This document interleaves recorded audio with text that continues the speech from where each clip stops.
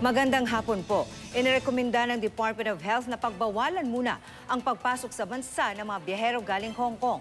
Ayon kay Health Secretary Francisco Duque III, sumulat na sila para maaksyonan agad ito. Hinihintay pa ang desisyon dito ng IATF. Dalawang kaso na ng bagong variant na Omicron ang nadetect sa Hong Kong. May naitala na ring unang kaso ng Omicron variant sa Europa. Nadetect ito sa Belgium. Ayon sa kanilang health minister, hindi pa bakunado ang pasyente na nakaramdam daw ng sintomas labing isang araw matapos dumating galing Egypt.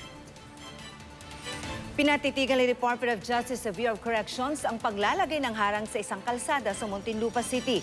Kasunod yan ang pagtatayo ng bakod kagabi sa Katurungan Village na inalmahan ng mga residente. Ayon kay Justice Secretary Minardo Guevara, walang abiso sa kagawaran tungkol sa wall construction.